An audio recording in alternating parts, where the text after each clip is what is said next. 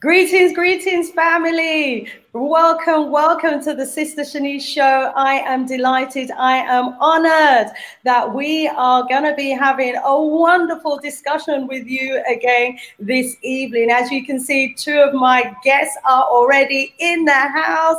We got our brother Michael Evans from, from the USA, and we also have our Prophet Meduty from the UK. Uh, Sister Shanice here is uh, coming to you live and direct from the Gambia.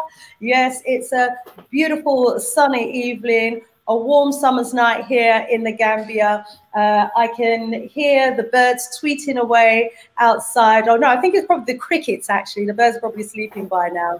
Uh, but you know, it's just sounding beautiful. And I wish the entire family from the diaspora was here as well. We have just joining us back screen, uh, our sister Kayi in the house. Rise up, rise up, sis. And greetings, sis. Greetings, everyone. Yes. Uh, what's up? What's up? Yeah, let me run around and allow the panel just to greet each other and to greet uh, our audience who are already in the house. Uh, Michael uh, Evans, please greet our audience. Then uh, Kayi, and then our beloved prophet. So, greetings from Southern California. Um, just want to say hello to everybody, and I'm um, looking forward to interacting with the rest of the panel as we talk about uh, what it, does it mean to have economic emancipation uh, throughout the diaspora? Oh, greetings, family. Thanks so much, Sister Shanice, for giving me the opportunity to be here tonight. I'm very, very excited about tonight's discussion, and uh, I believe we're going to go home learning lots of things, but not only learning, but implementing those things as well. So thanks so much for having me on. And hi to everyone in the chat. Uh, yeah, Otep, Otep and greetings in the name of the creative force of the universe, the omnipotent being that which is greater than ourselves. Was many names Olodumare, Nkulukulu, Kwame Blafor, Mungo, Onieme, Amenra, Ashe, Asheo. Uh, um, to all African family.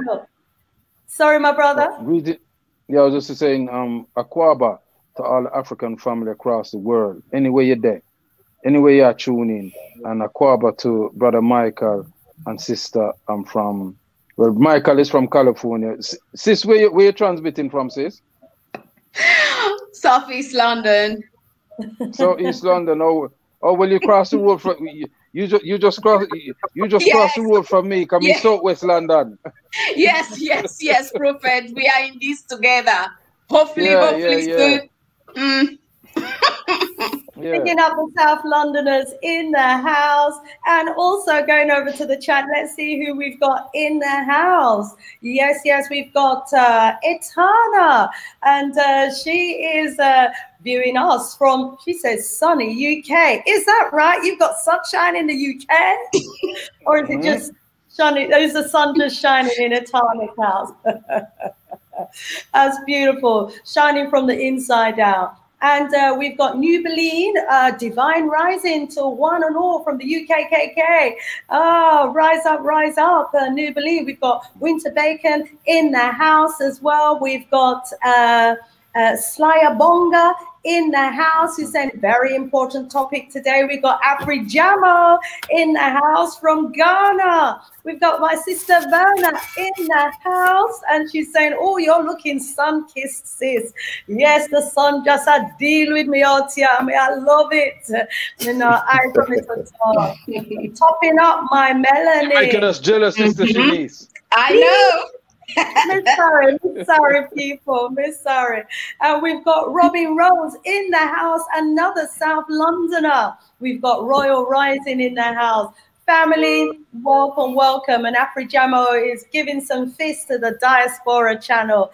Uh, beautiful. Yes, our sister uh, Kayi, do you want to just introduce the Diaspora? I will introduce each of you in a short while. Ah, we have our other guest in the house.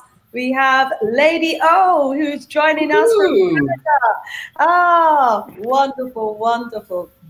So we have all of our guests in the house. We're about to start in a very short while. Uh, but before we do, let me just allow uh, our sister uh, from the Diaspora channel to tell us a little bit about her channel. Oh, yes. The channel is the Diaspora channel. So he explained already what the channel is about, but I'm going to go a little bit you know, deep into it. I'm Kayi Gabiam, that's my full name. And, uh, you know, I'm from Togo. Yeah. So that's West Africa, but I'm African first. So that's why the, the platform represent us all. It's not about me, it's about us. So um, I started this uh, channel like um, 2019. Yeah, January 2019. I'll start, you know, with uh, just posting, you know, product from black owned businesses globally. Because at some point you just sit down and look around and ask yourself, what what can I do? Instead of always, you know, sitting back and then know what is happening, but think is the responsibility for others. I just say, let me start the page. I start the uh, the page by Black First UK on Instagram. So with that, I've been posting, you know, different product from brothers and sisters in the States and here also in the UK, just to showcase, you know, who is doing well within our global Black family. So fast forward six months uh, after that, I just realized people can easily, you know, just uh, hide behind any screen and say, oh, you know what, uh, you know, this is a black-owned business. Can you just, you know, put my product out there? So that's where the idea of the YouTube channels came in. So I'm like, yeah, that would be good for me to see who is behind every brand and also give them the opportunity to interact with the viewers and show them the products and just for them just to know them like how we do it back home is all about you know connecting with one another so that's where the diaspora uh, channel came from so all Brilliant. about showcasing us and our products and brothers and sisters that are doing amazing things in our global African family, Black family, when it comes to being the change. So we have them wow. on as well. So they can actually know that we see them, we appreciate them, and just thank them for what they are doing. Like, you know, yourself, Sister Shanice, you know how, you know, I feel about you already. I know, brother uh, Prophet, yeah, uh, but you know, I know what he is about as well. So thanks so so much for doing what you guys are doing. I will be knowing more about Lady O and our brother Michael tonight. But the Diaspora channel is our channel. So if you're a business owner, simple, you just need to contact me and we do some digging. Some digging. Once everything is good. Put your Sorry? details in the chat. Put the de- put your contact details in the chat. And let me just okay. allow Prophet Meduty to talk about his Facebook live shows as well. Because I tell you, when this man do him radio show, him on fire. And, uh, you know, he does a Facebook live as well. So family, family, make sure you lock into our Prophet on his Facebook live shows. Please, Prophet, just uh, share with the family when they might be able to catch you on the Facebook, as you call it. Hmm. Yeah, um, I do feel well. Um, I'm part. I'm, I'm a presenter like Sister Shanice on GalaxyAfiwe.com. That's Galaxy A F I W E dot com. We are uh, a D brain dirty and D brainwashing station, and we have a lot of presenters who bring different information, talk shows. My talk show is on a Thursday evening from 9 p.m. till midnight GMT. So you can work out, you know, where is that's Greenwich Mean Time, wherever you are in the world. And sometimes I have guests. I in I have a, a slot that I call the unsung heroes. So I talk about people doing things in our community that we don't hear about because there's this misnomer that the Africans are not doing anything. We're just sitting down here docile, and that's incorrect.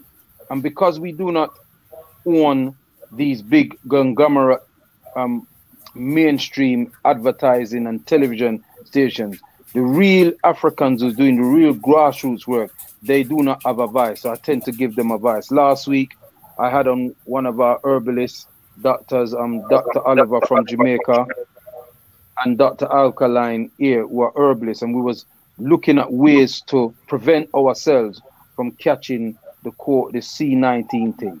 And so we, we did that. So go on the Facebook and tap in Kwaku Bonsu, that's K W A K U B O N S U, and you will see a ank and you log on that, and I'm on the Facebook. And if there's anybody that you know, like the sister here, Kayi, you know, you, you, you know, you, um, you just cross the road.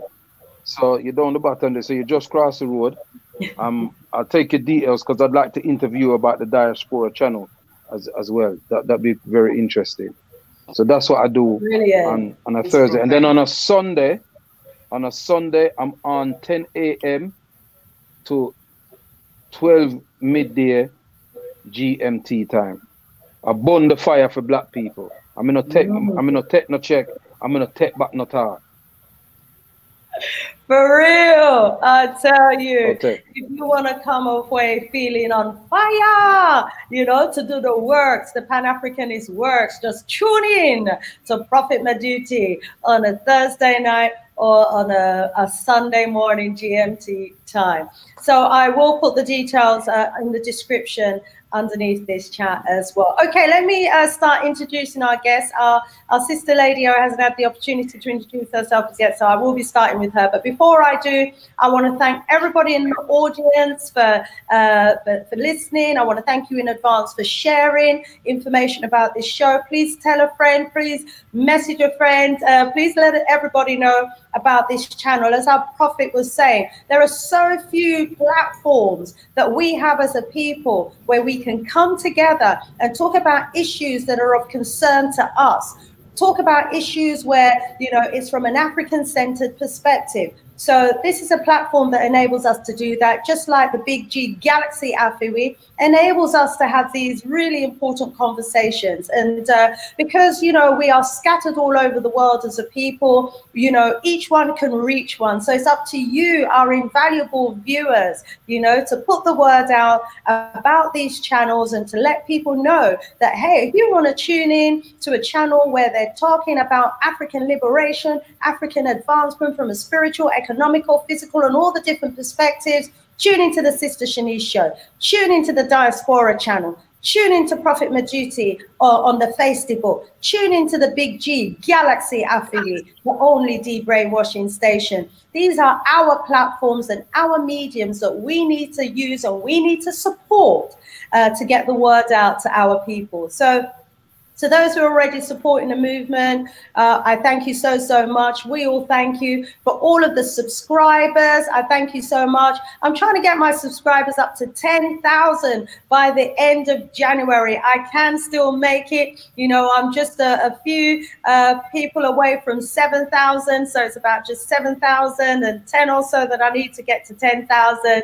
So, you know, please do share, share, share. You know, we are the ones who are going to have to get our messages out to our people. We can't expect others to do it for us, okay? And so we all have a role and responsibility to ensure that we're reaching our people with the correct narrative because it's our narrative that's going to be shaping our minds and our opinions. And it, what, whatever we have in our mind to do, uh, that we will do. So we have to make sure we have the right information in our mind so that we carry out the right actions. All right, family, rising up the entire entire family. Let me um, also thank my Patreons. Those of you who supported me on Patreon, much, much love to you. And if you're not already one of my Patreons, what are you waiting for? Hey, just go on to www.patreon.com forward slash sister Shanice or search me for me in Patreon, and you can become one of my supporters for as little as three pounds a month.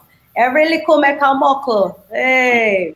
All right, family. Let me introduce to you Lady O, who is the CEO of Least, L-E-A-S-T Incorporation. And that's the parent company of Oak Network and several other businesses. She's the mother of four resilient children and two intuitive cats. She's committed to helping our community rise up and out of its slumber and toxicity that our ancestors are waiting for us to do. Her passion is for women to regain their matriarchal position and become guardians of the galaxy once again. My sis, please greet uh, our audience today. Lady, uh, take there you go. Yes, yes. I'm so used to you saying mute your phones, everybody, mute your phones. I mute my phone and I'm like, oh, I gotta unmute. So thank you so much, uh, Sister Shanice, uh, for that introduction. Thank you for being um, inviting me to be on the panel today. Uh, this topic is uh, something that I'm definitely interested. I'm interested in all of your topics. So when I saw this topic today, I'm like, yes, I definitely uh, want to be a part of it. And then the invitation came for me to be on the panel. So thank you so much, because you know I'm always here, either in the chat or you know I'm in um, I'm right right on the screen with you. I'm always here with you, my sis always sharing. So please share this video, like this video. The algorithms is going to bring more people in, share the information. I'm so happy to also share the platform with Michael Evans. Michael, it's good to see you again. Um, uh, we met on the Afric Views uh, 2020 Global Summit by uh, OT Samuels. OT, if you're in the chat, good to good to see you in the chat. Um, and Michael was an amazing presenter, and he presented um, his powerful financial plan.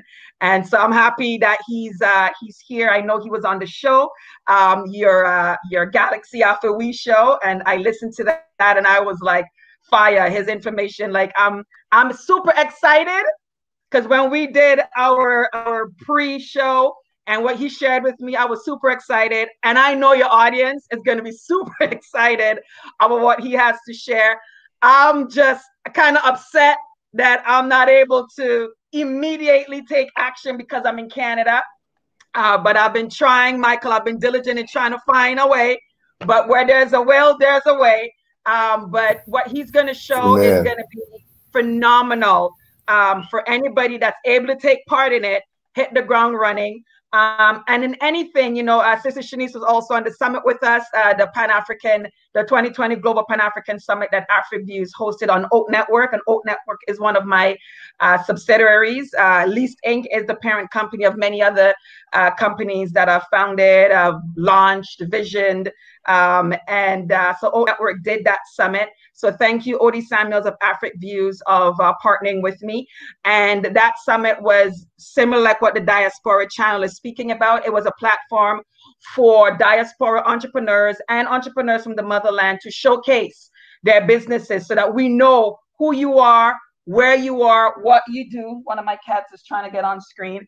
Uh, what you do and um, how we can serve you and how we can collaborate because our money bounces out of our community way too fast. We know, we've heard it, we know it. And although we know it, we've heard it, we still do it. And so I try to eliminate all excuses uh, for anybody to say they don't know, they didn't know that this person could serve them, they didn't know this business exists. And I'm here to give a platform for the diaspora entrepreneurs to connect with the motherland entrepreneurs, vice versa, see how we can do businesses. Because if I need a service here in Canada, but there's someone that is from my community that can serve, I prefer to bounce my money there. And I'm encouraging us to keep bouncing our money within each other's borders, knowing and entrusting that when we get the money, we bounce it back again to another brother okay. and another sister, right? That's very, very important. So that is what um, that's how we met, and I'm so excited for this opportunity to hear more of what Michael has to say.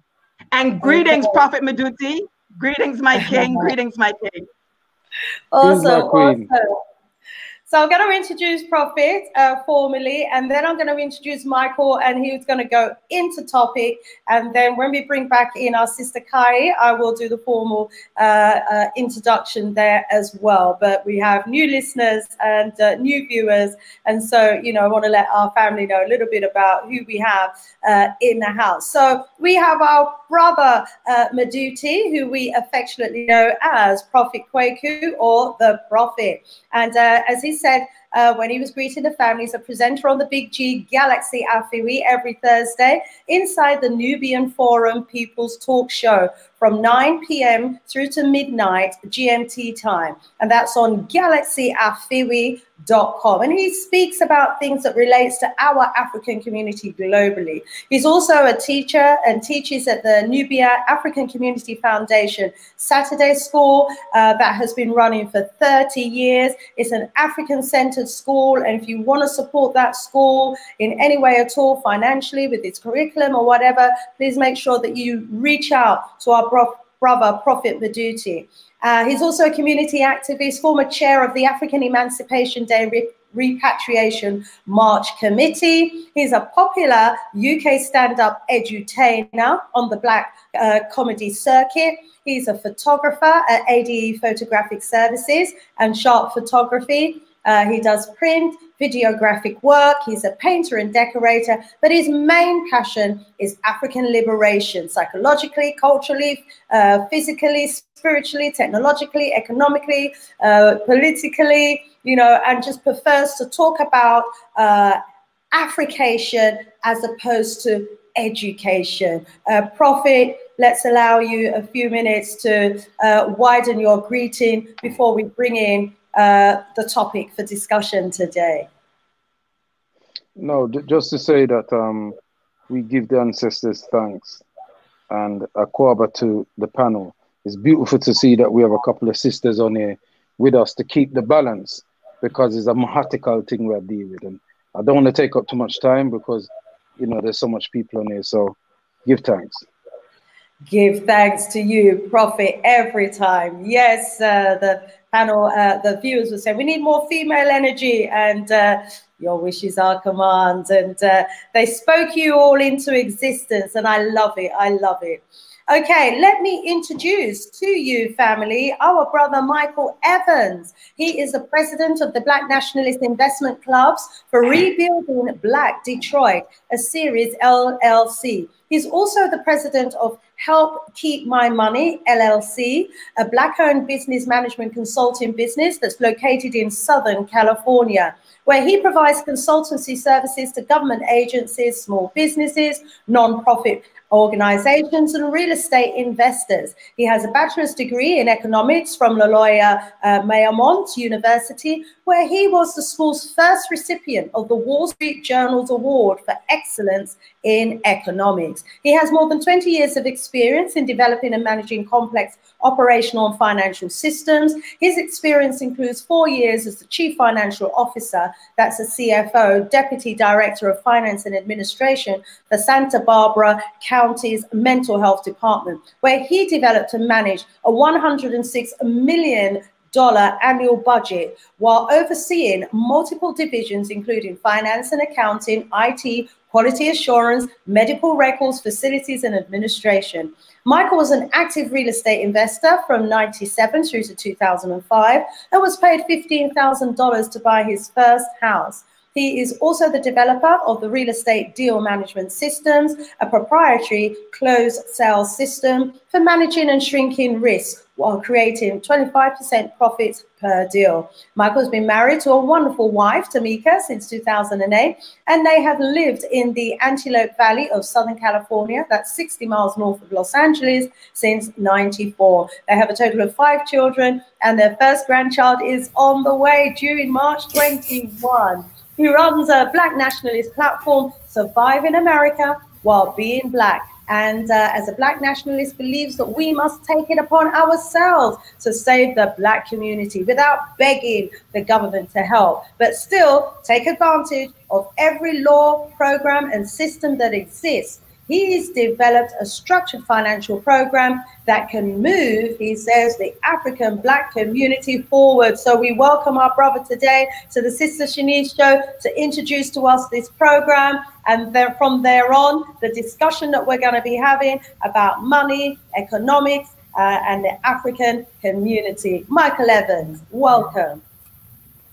The wow. I want I really want to thank you for that introduction. Um, I've never been introduced um, like that.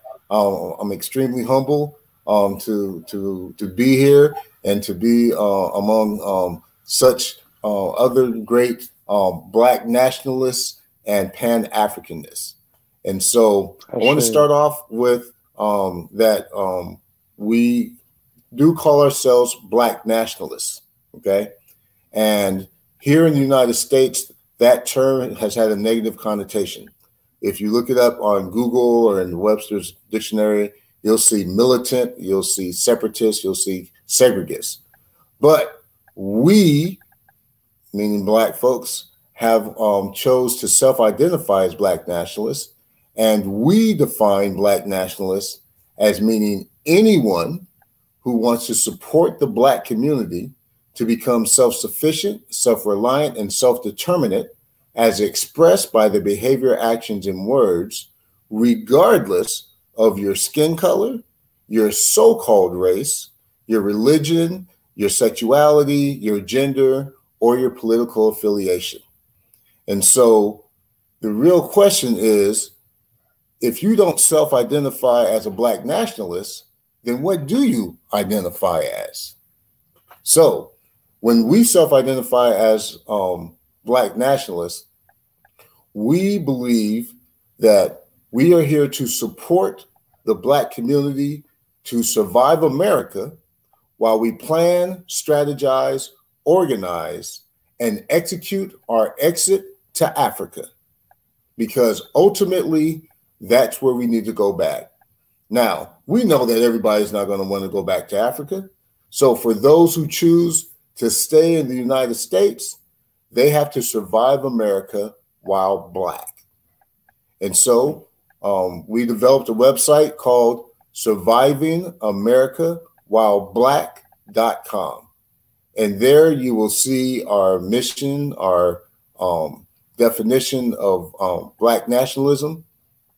And we really go off of Malcolm X's definition of black nationalism as um, he described it in his um, famous The Ballot or the Bullet speech, in which he said there are three philosophies associated with black nationalism. There's the political, there's the economic, and there's the social. And so at this time, what we're focusing on is the economic because we must build an economic base. Okay. The one thing that we know is um, the African continent has been chopped up into 55 little itty bitty countries compared to the six or seven major kingdoms that traditionally uh, have existed in um, in the continent, and it was done on purpose. It was strategic in order to um, to take away the economic and military might of the continent. Then you add those Africans that have been spread throughout the diaspora that um, were whose connection was severed culturally from Africa to where we don't even know what our roots are, right? Um, and so it's it's it's time for us to make a plan to go back home. And when we go back home, we need to bring our um, resources back with us, both our financial resources as well as the brain trust from the diaspora, um, and bring it all back to bear in order to, um, as I say, I'm a MAGA fan, make Africa great again. Ashe. So, um, you want me to roll into exactly what our what our plan is, or do you want to okay, have a, well, a, a, Before we do, you know, uh, let, us just uh, talk about definitions because you actually um, gave a really interesting definition. The first time I heard that definition of black nationalism was when you was on my show on Wednesday, actually, which took me a bit by surprise because you actually identify non-black people as black nationalists which is a really well, it was quite bizarre but interesting, you know. And it's fine for different organisations to have their own uh, definition uh, of things, but uh, you know, obviously from a Pan Africanist uh, perspective, when we talk about uh, Black people, uh, it's African stroke Black, and yeah, when we talk about Pan Africanism and Black nationalism in the UK, you know, it is exclusively talking about Africans, melanated people. So it's interesting that in your part of the world, you know, you've broadened that black uh, to include non-Africans. But actually here in the UK, we have a group that they call BAME, uh, the Black and Ethnic Minorities Communities. And that includes all your, your so-called other groups who are non-European, like the Chinese, the Indians, uh, etc., in the BAME. So interesting, interesting concept. And uh, we'll hear some more about how that's working in your neck of the woods. Uh, before we go back, any other panel members like to comment on that definition or anything else that our brother has said by way of opening? Yeah, I'd like to. Uh, no, go on, sis. I'll let you talk. Go on. I was I was just gonna piggyback on what Sister Shanice says. The first time I heard Michael explain that, I was like, that's a different spin on it. And I was like, how is that working um, in the definition there um, as to include anyone that supports um, our liberation and our self-sufficiency. So um, myself too, uh, when I heard it here in Canada, I was like, that's a different spin on it. Um, and I understand the more he explained to me, I understand where he was coming from. But again, when you first hear it, you're like, hold on a minute, what? So um, I, I would wait for Michael to expand on it and to explain how is that um, reverberating back into his community when he says it and explains it that way. Yeah, um, I'll, take my brother and my sister. Yeah, so I, I don't, I don't, I don't know what um your full definition is, I've just heard a brief explanation of it. Um, um, however, I'm strictly dealing with African people. I would do business with other people because we're on a planet with different groups of people. But when we're organizing structures and things like that, I'm strictly African. Um, I'd have to hear a bit more about the brother's explanation, and I don't think this is the place for it. That's another platform for another time because we're talking about the economics if it falls within the criteria of what we're talking about, I'll be glad to hear hear hear more, definitely. But for me, it's strictly African. Ah, Shay, rise up, rise up. Let's go so, over to the economics and uh, find out about this uh, plan that can help to rise us as a people uh, from the financial situation that um, you know we find ourselves in in so many inner city areas in the diaspora. Rise up. Over to you, my brother. Sure. So so before I move on, I do I do want to just uh, talk about um, African. Okay.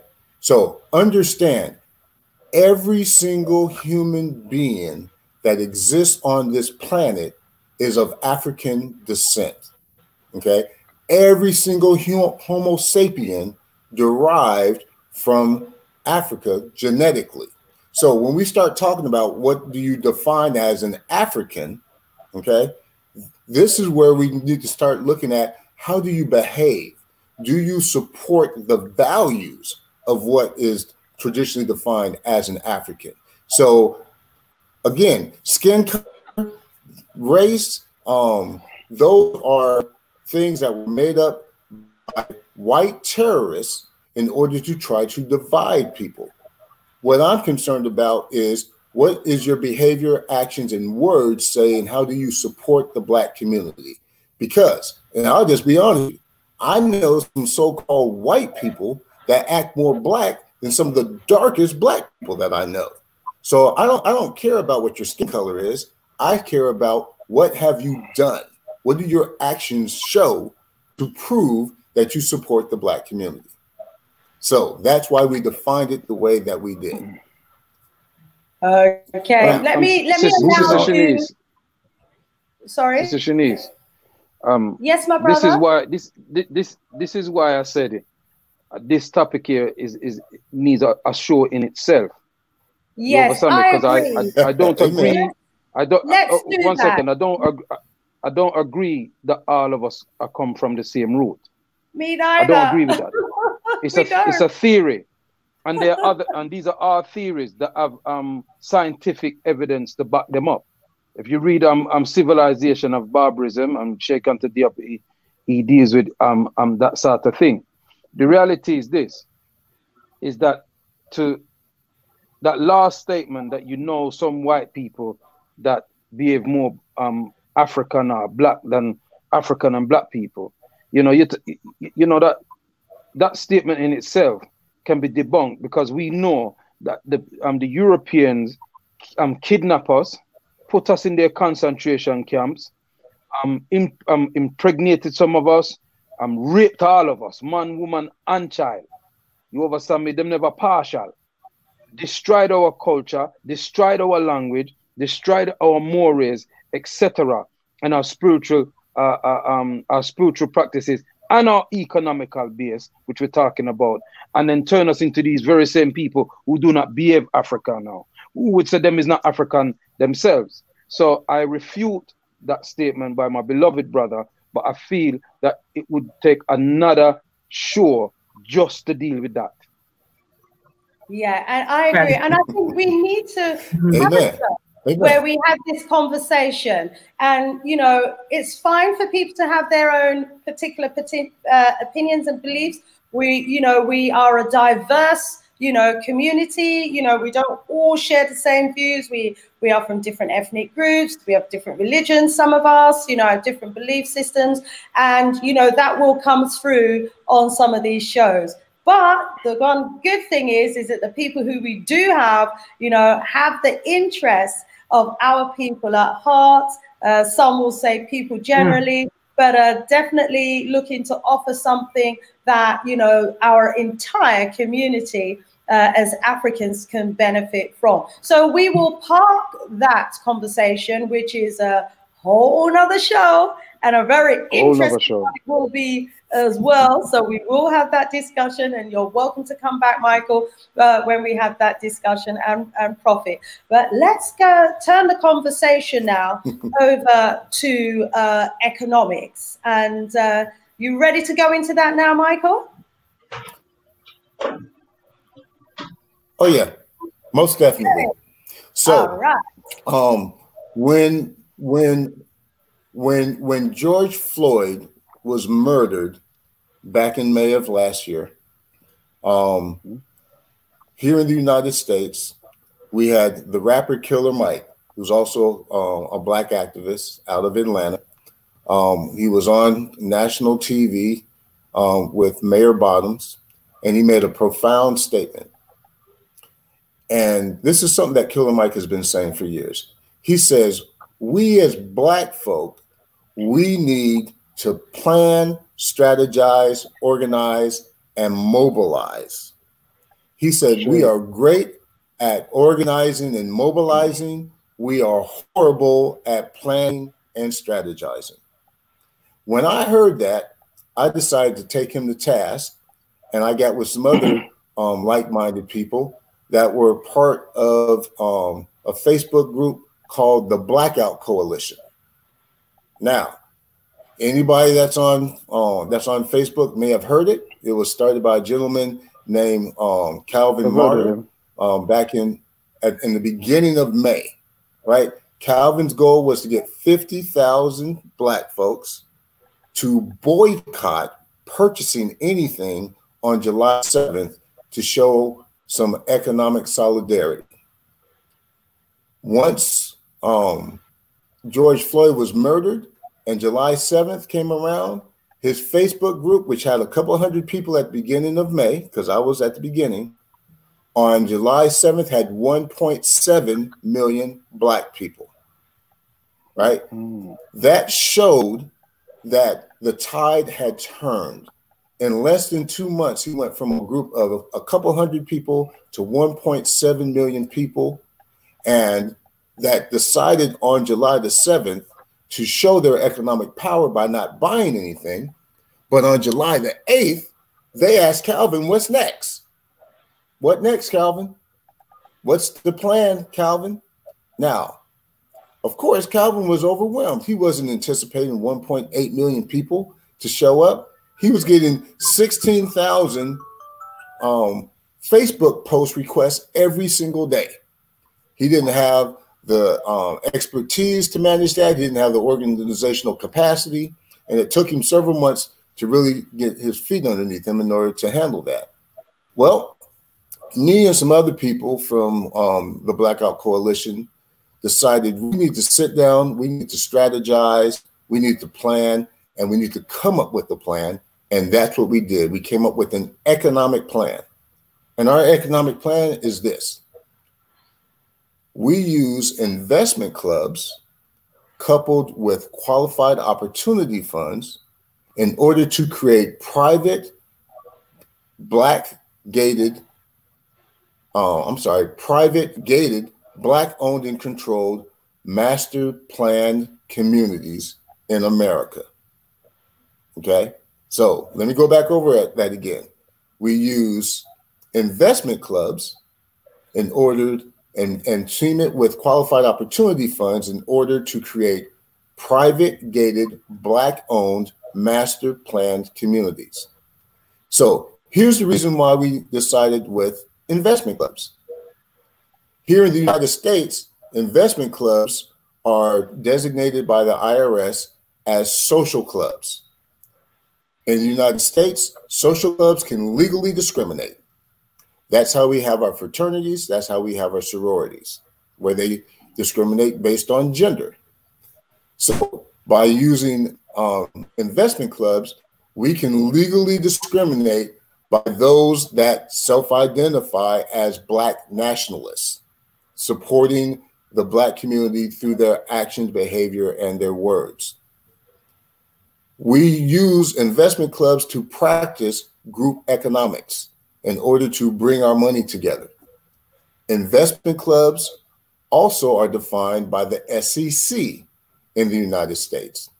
An investment club is a group of people who come together to invest in stocks, bonds, real estate, other types of, of securities. And as long as it's less than 100 people and $5 million of, of assets under management, they're all active investors and there's an education component. They do not get regulated by the SEC. So, what are we doing? we are strategizing and using the government's systems to our benefit in order to self repriate. And you'll hear me use that term self repriations. What that is, is rather than waiting and begging for money from the government, from the United States government specifically, to give us reparations that's due to us, we use their systems, their regulations, and their laws in order to pool our money together and our resources in order to create our own reparations. And so this is a method for us to self-repriate. So that's the so that's the basis of how we in the United States are able to use the United States laws in order to practice group economics. So any question on that so far? Okay, rise up, rise up, my brother. Thanks for outlining that. Let's go to the panel. And uh, um, what I'm going to do as well is bring in, you know, some other aspects of um, the economy that, in fact, that uh, affect us as a people as well. But let me go around to the panel and hear from our panel members first of all. Lady O, over to you, my sis. Thank you so much, Sister Shanice. So, in just recapping the first part of what you just said, uh, Michael, you're saying that you're using um, our group economics to create um, a self-sustained, uh, private gated community for for our for our community. And that's that's that is basically that's what that's what the first part of what you just Correct. mentioned is about. Okay. And what you're saying is that you're using you this was birthed from the feedback that you saw from that movement from Calvin Martin that individuals from our community are looking for ways to financially uh, make that statement um, that we know money talks. uh, picketing, protesting, all of that is great. But what you're saying is when he made that call for a financial response, that's what you saw the community eagerly responded to. So you put your brains together with some other individuals and say, okay, how can we really make an economic impact? Is that what that that was just the gist of the first part? Mm-hmm. mm-hmm. Let's go with that. Exactly. Exactly. Okay. Because what? Because because what? Because because because because what we saw is with the with the murder of George Floyd, we saw a level of awareness, especially here in the United States, that we haven't seen since the LA riots of 1992 when everybody saw Rodney King getting beat half to death. Okay. And except this time, now this sentiment is worldwide, right? This level of awareness is a worldwide awareness, right? It's been labeled the Black Lives Matter movement, which is way bigger than the Black Lives Matter organization. Okay. Um, and what we saw just from this one Facebook group going from a couple of hundred to 1.7 million in two months was a desire to take action, but there wasn't a plan. Right, Got right. It. Got it. Rise up. So, and also just to say that you know this is a um, a strategy that could be rolled out you know, globally. It's a strategy that can be applied in Africa. It can be applied in uh, in Canada. It can be applied in in the UKKK. So, you know, for those who may be living outside of America and are thinking, well, I don't really want to invest in America. You know, it's a concept and, and a program that can actually be started anywhere in the world. Uh, so, so do look at it from that perspective. Lady O, did you want to come back and then let me bring in our sis from the Diaspora channel and then sure. Prophet Meduty? Sure. Yes. Um, that I, I, I, that is where I had seen when I saw the presentation. I wanted to know how that would be applicable um, here in Canada. Um, if I was not able to partake in what he was stating because it is the American um, presentation. Um, and Michael um, explained more about that uh, process. So I'll have the other panels um, come around. All righty, rise up, rise up. Bringing in our sis Kayi from the Diaspora Channel. Yeah, I like the fact that you highlight this same principle. We can implement it also on the continent because personally, you know, we have to understand that there will be brothers and sisters that will choose to stay in the West. Mm-hmm. But my first, the, the thing that matter the most right now is for us pulling our resources, our money, and build in Africa. Because when we are strong as Africans, the way even the whole world will treat us will be completely different than the way they treat our brothers and sisters on this planet. So the uh, if we can work, you know, with this and implement it on the continent right now, for me, that I will be more, you know, about that than building here because it's, it's like we we have hearts. Let's say that's just something in us about caring about all people but we have to realize that it is not all people that are for us. So when you've been doing something for a long period of time, like I said, some you know some brothers and sisters who choose to stay in the West, we we will do what we can do as well to to support them. But any building now, when it comes to pulling our funds and uh, resources to to build anything, may I think more about what can we do on the continent than building, you know, in the West. Rise up, rise up, my sis. Bring it in, Prophet Meduty. Yeah, Hotep. You know, um, I often hear um, brothers like my brother Michael, and I, have got nothing against the brother setting up where he is because I just saw him live, and I'm going to make sure him family and everybody there is all right. But I think that um, I echo more what um, Sister Kayi is saying. We have to develop Africa. Um, our most eminent prophet and king, His Excellency Marcus Mosiah Garvey, said, When Africa is strong, we will be strong. You know, you can be strong in um, in America in pockets, but it don't make you as a nation strong. I think one of the things I think it was a brother said it earlier in how they split up um, Mama Africa. You know, they split them up in these 54 different states instead of the six um, kingdoms, and it was specific, and they destroyed the economical structures. So I'm setting up in the enemy's camp, and let me not say, let me say that the United Snakes of America doesn't belong to Europeans, yeah, none at all.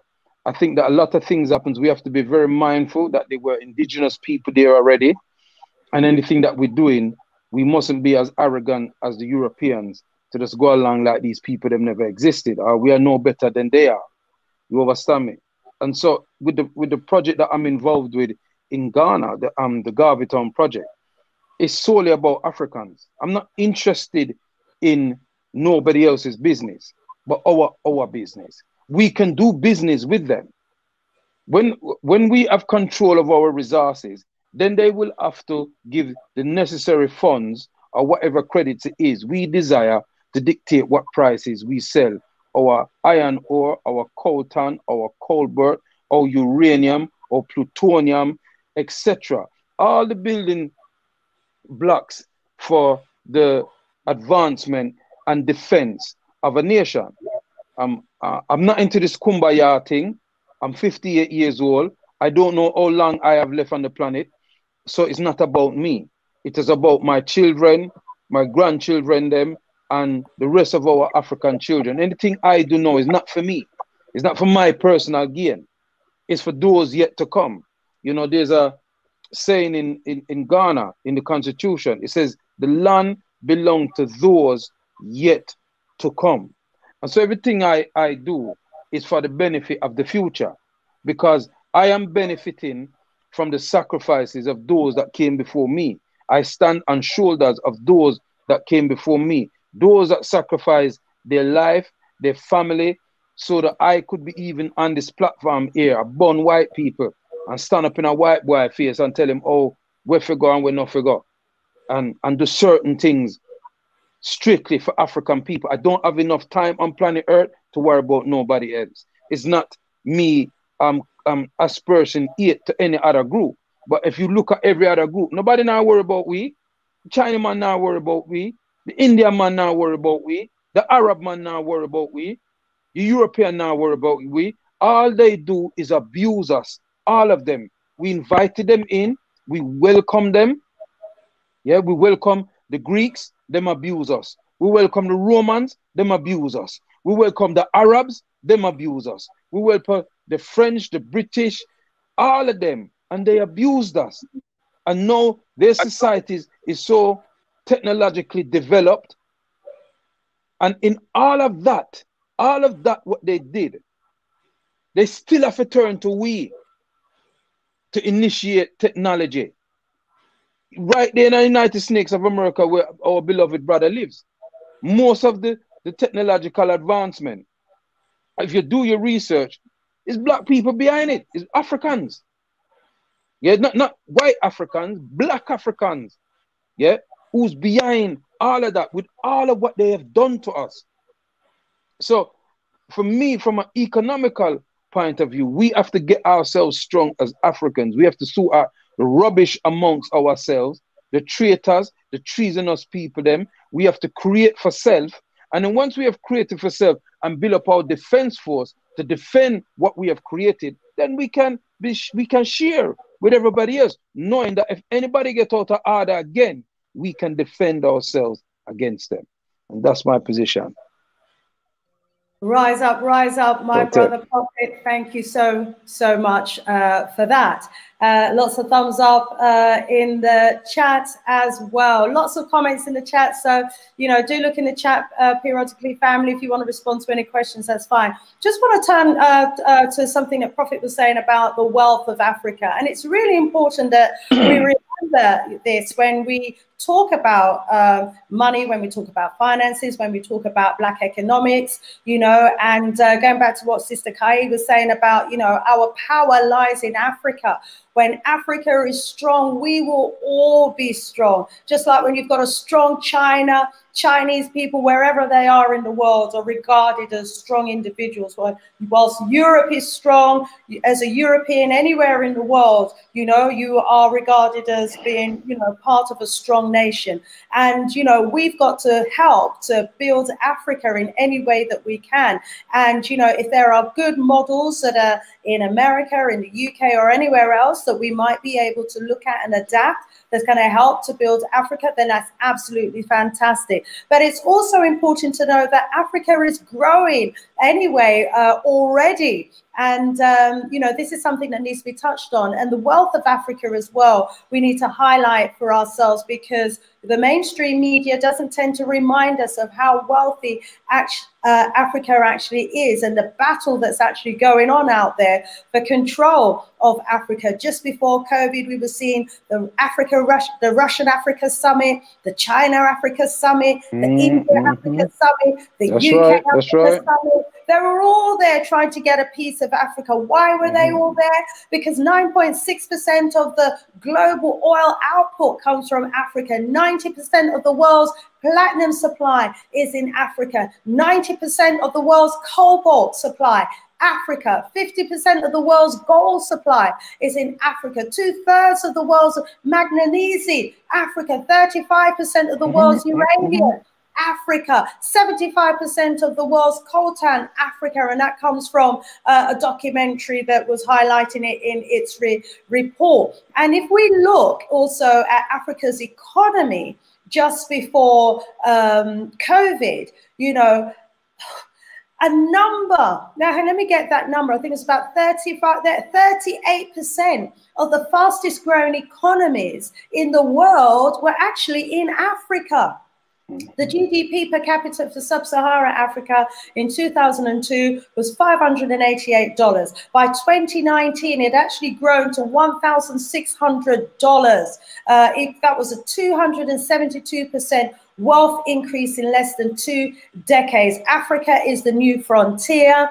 Africa is where it's at. Nigeria, Botswana, and Ghana growing at a, way, a rate now considered to be a middle income economy. Now, from a Pan Africanist perspective, we want to see the whole of Africa rise. It's not enough just to build an African middle class. It's not enough just for us to have more investors in Africa that are contributing to the GDP when our people uh, on the ground are not benefiting. This now, what we're saying is we need models, you know, that's going to help the ordinary people on the ground, you know, be able to pool their resources and energies together, you know, to be able to be part of the growth and development that we all want to see Africa have.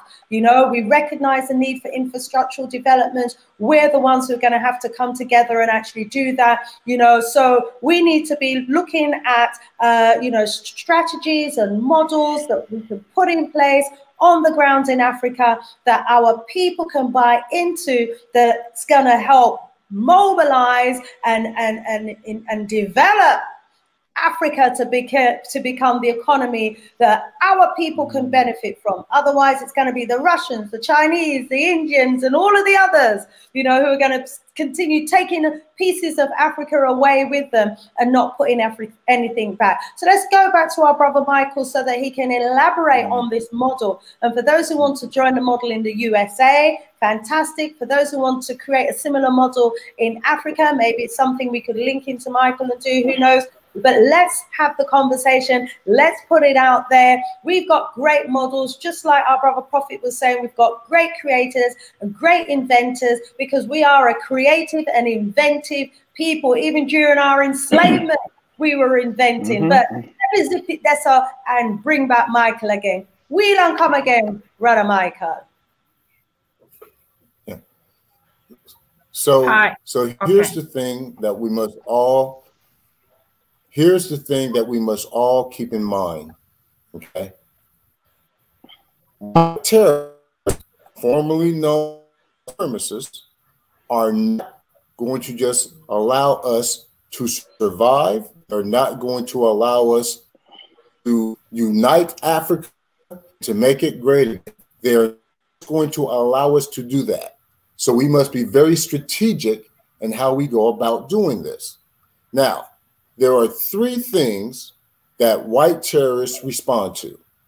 One is the threat of violence. It's either violence or the threat thereof. The second is, and the third is votes. Okay. So until we as a collective have two of those three things, we are at a strategic disadvantage. So we must be strategic in how we go about doing this. Okay. What, what, what, what we know doesn't work, you cannot go heads up with this system. It, it has not worked for the last hundred plus years. Every African leader who has tried to go heads up against the white terrorists has either found themselves assassinated or overthrown through a coup. Okay? So, so we have to be strategic in the way that we do this.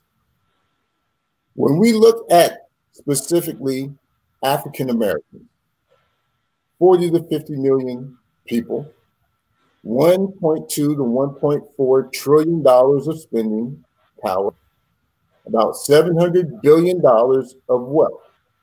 If African Americans were a nation upon themselves, they would be the third largest grossing GDP nation in the world. Okay. So it makes sense to start organizing African Americans. Okay. It makes sense to build an to build an economic base in the United States. Doesn't mean that we can't simultaneously do it in the UK, that we can't simultaneously do it in the countries that are in Africa. I'm in the United States. I know America. So I choose to focus on the United States and I know how the United States works.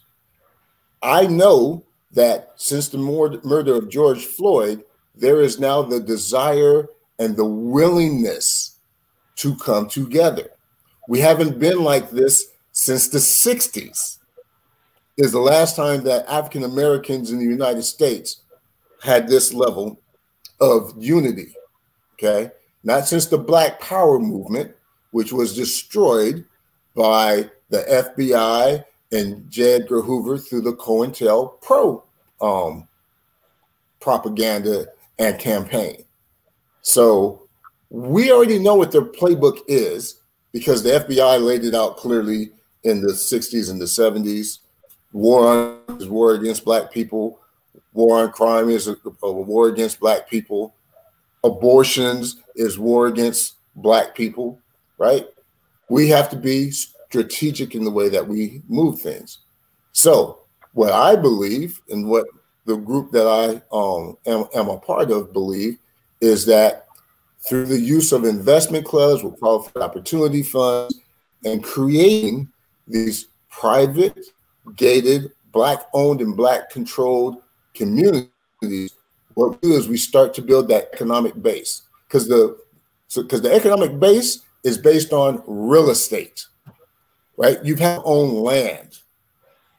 Once you own land, then you have the means of production and um, um, do it in um, gated communities. Now you start to recycle that black dollar which currently doesn't recycle at all.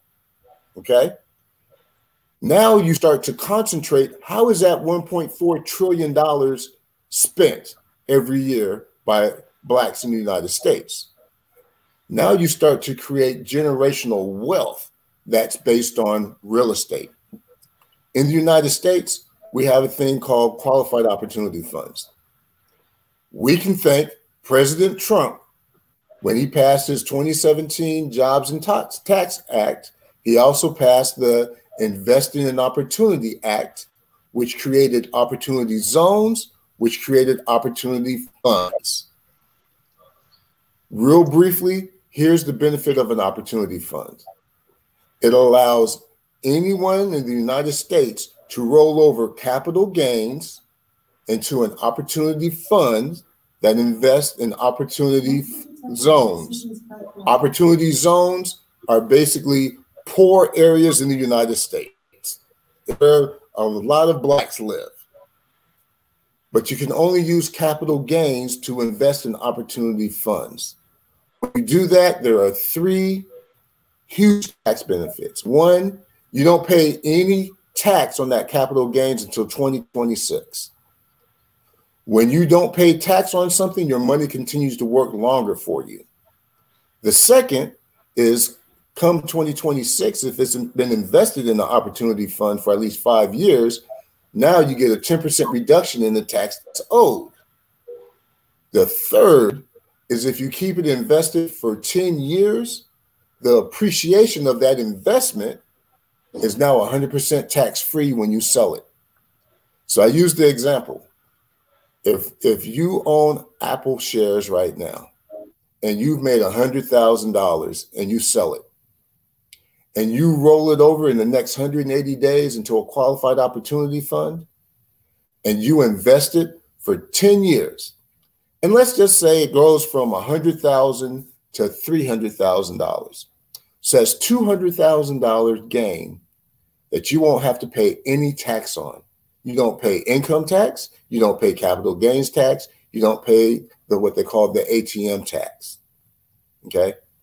It is by far the greatest legal means by which black people can redevelop their our black areas with real estate while simultaneously creating generational wealth.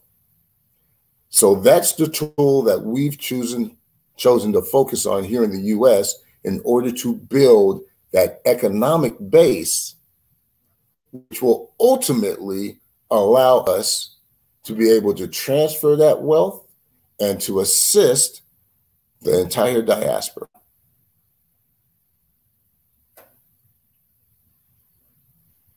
Um, that sounds like a beautiful um idea, my brother. Um, however, um,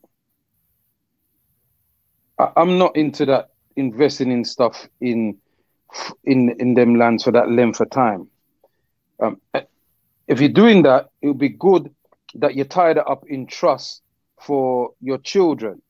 You know saying? I don't know what age you are, but 10 years from now, I'm I'm 68, touching 70. You understand? So it's not going to be for me. You understand what I'm saying to you? And so um I still of, is of the notion that we should concentrate on developing things that our children will inherit. And so developing the minds of our children to take over those things and developing the mind that um here is not your own. It was never your own. Your own, and this is you see, I can speak from the position of a kidnapped ch child.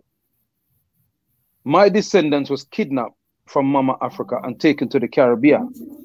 And then my parents come from the Caribbean and came here. So I don't I don't tell my children them about developing nothing in Britain.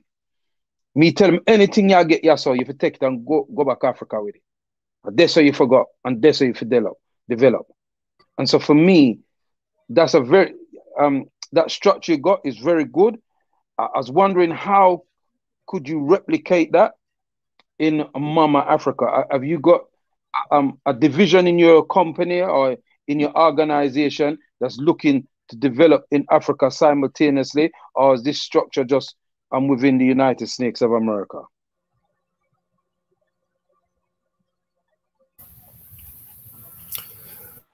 So the, the one thing that we learn about being strategic is that you have to do multiple things simultaneously, right?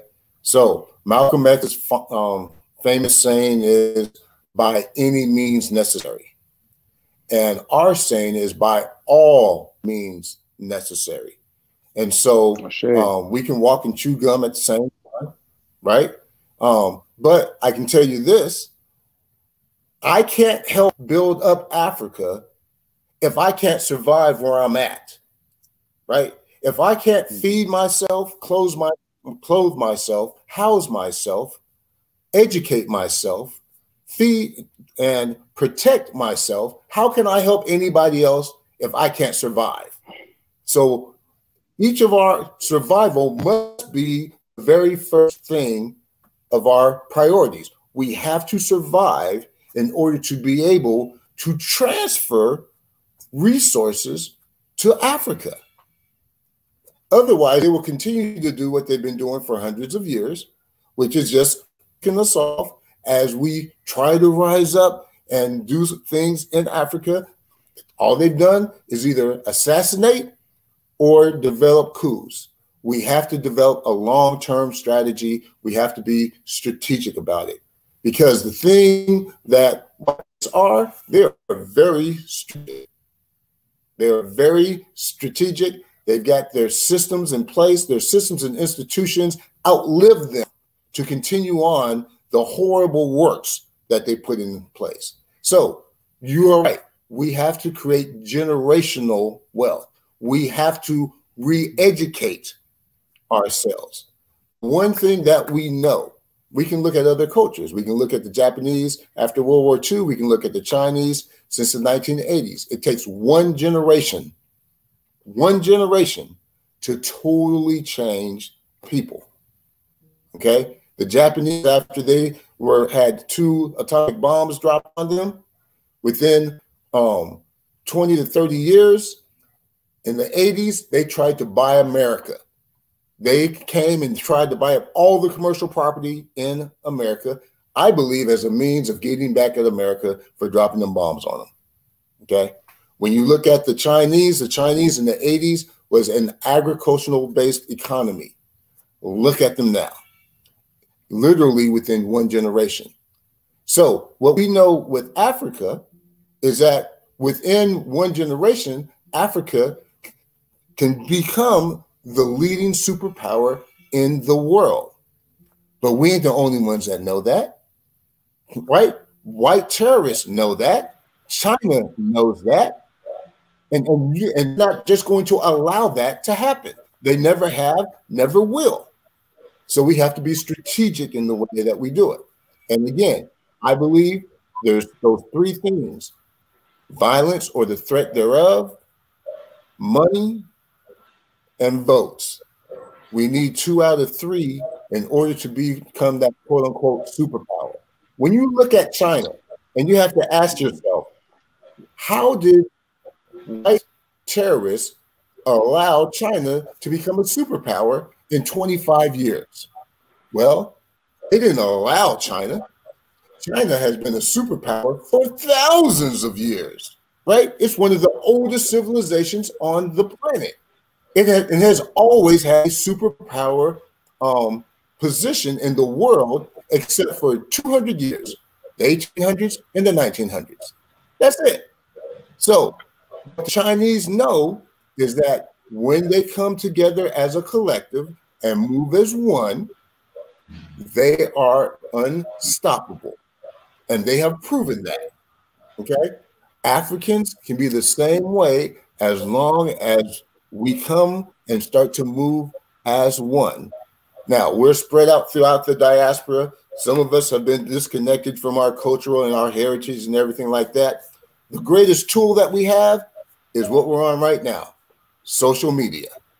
Okay. The internet is the best thing that ever happened to Black folks in the last couple hundred years because they can no longer, white terrorists can no longer control the dissemination of information the way that they had been doing up until that time.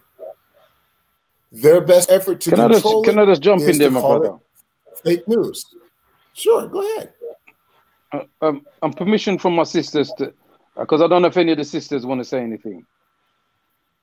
Okay, yeah, uh, I'll bring them in after you, Prophet, if that's okay. Go, go ahead. Yeah. Um, right. Uh, a couple of things. Africa was always a superpower, right up until the 14th century. In fact, right up until the, the 15th century. Africa was always a superpower. We had empires running things. The Chinese were never um, enslaved. They were invaded, but they were never um, kidnapped from their homeland and enslaved. They moved to places as indentured servants, but never enslaved. No group on this planet endured what we endured apart from the Native American people on the soil where you are now. So um, we cannot equate the Chinese with we. And our civilizations and our empires are older than the Chinese. Yeah, we were trading with the Chinese long before the Europeans came out of the cave. So um, that's the first point. And I agree with you that when we galvanizes our resources together, we can turn things around. But there's no resources nobody bringing to Africa more than this and manpower. The, the, the knowledge that they have stolen and refined um, within their, their boundaries. There's, don't talk about resources because uh, all with them teeth out to Africa, we don't need it because we have more, much more there. We just need our people with the, um, the skills of being an architect, an engineer, a, um, um, a nanoscientist, satellite worker, all them kind of technological science to come home to Africa and help Africans develop the resources that is there. And then we can sell it to them, not give them the resources and then buy back the products. You understand me? So um, this about bringing resources to Africa. No, nobody no need to bring no resource. The only resource them need to bring is people with technological know-how because all the resources are there. And a third thing, Africa is developing. We have car manufacturers. We have our own scientists. But as you said before, my beloved brother, we don't control the external media. We just have social media. So them not gonna them not gonna promote how Africa is developing and them things there. There's people in the Americas where you live and different parts of the diaspora think that people in Africa are still living in huts. And there's no road and there's no um industry and no e-commerce and them thing there. Africa are going with things. It's just that we don't know about it. You understand what I say?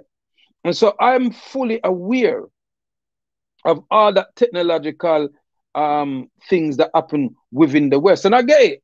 You know, people live, you know, we live here, um, we live a certain way, and we want to live that way when we live it, when, when we leave here. You understand me? But we have to take that first jump. When my parents came here, them never have nothing. My parents come out England, you know, them never have nothing. One room them are living at. My father, the first job him do, he was serving tea before him could, could execute him trade. You understand what I say? So if our parents can take that jump to jump out into the unknown, why can't we take that jump to jump into the known? Because the known is Mama Africa. And everything that I do, what I talk to my children in, in the Saturday school, where we Africate the children about who they are and get them to say, you need to Africate yourself and acquire certain knowledge and certain skills. And those skills you know eventually you should use it for the development of your people and your continent. That's what i think we should be doing. I agree with you about strategy. I've no issues with about strategy but africa have to be at the core of anything we do even if we're looking after ourselves and yes we have we, we know all them talk that we have to clothe ourselves we, we all them something all the while and i don't knew that Anyway, you're there, you have to live. If you're in Africa, you have to clothe yourself first. You have to feed your family. We don't know that. But what do we do next? What's the prime objective? That's the question. What is the prime objective? And from my position and my organization, our prime objective is the development and advancement and the liberation of the cultural, spiritual, economical practices of our motherland.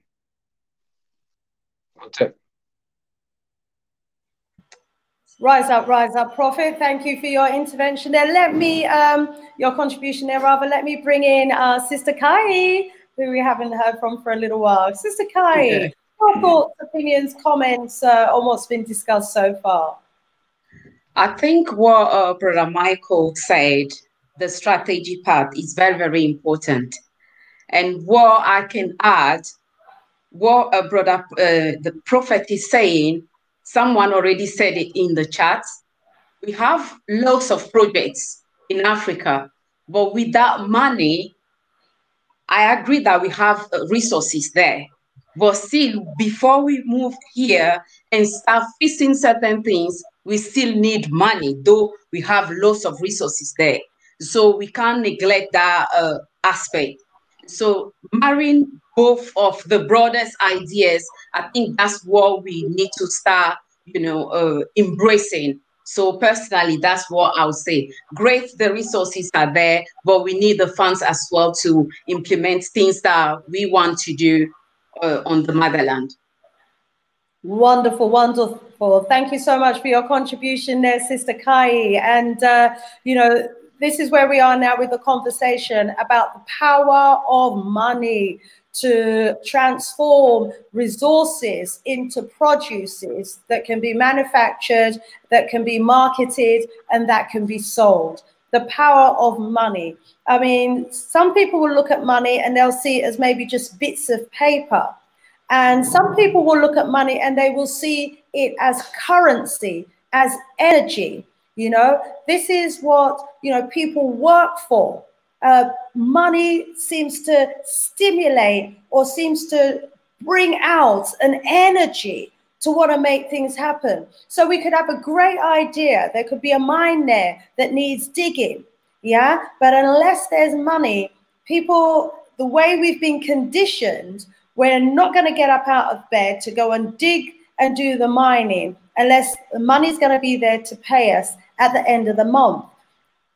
But what about if we had the mindset where we had the energy to dig because we're going to be mining for our future generations. We're going to be mining, you know, to bring up the resources that, that can then be turned into products for our future generations. What about thinking we need to make a sacrifice in order to be the change that we want to see? And as our brother Michael was saying earlier as well, within one generation, Africa can change. Africa be, can become a leading technological country. Now, we're already leading uh, on many fronts, but we're just not going to get the recognition and the accolade for it because, you know, as has been said, we don't control the media. But as was pointed out, you know, Africa has its own car manufacturing companies.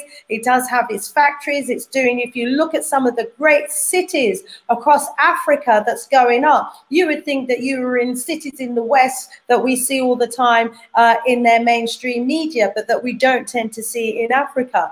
Africa is, has got technology, it's advancing, infrastructure is, is growing year on year. There's a huge amount of development happening in, in Africa. So in terms of currency, you know, and the energy that we get from money, what about if we started looking at how we could use that energy to contribute towards the growth and the development of the next generation? So that's one thing. Secondly, uh, in terms of money, what about if we look at, you know, creating our own economic network so that wherever we are in the world, we are trading with each other. So we're trading with each other, not just on a local level or on a national level, but on an international and global level, which is what Europeans do after all because you know they have created a global network for themselves. So, for example, when I was in um, Zimbabwe, I noticed that the Europeans, they, they stuck together as a clique. They all had their businesses. If a new European visited the country, they would bring them in as part of the club.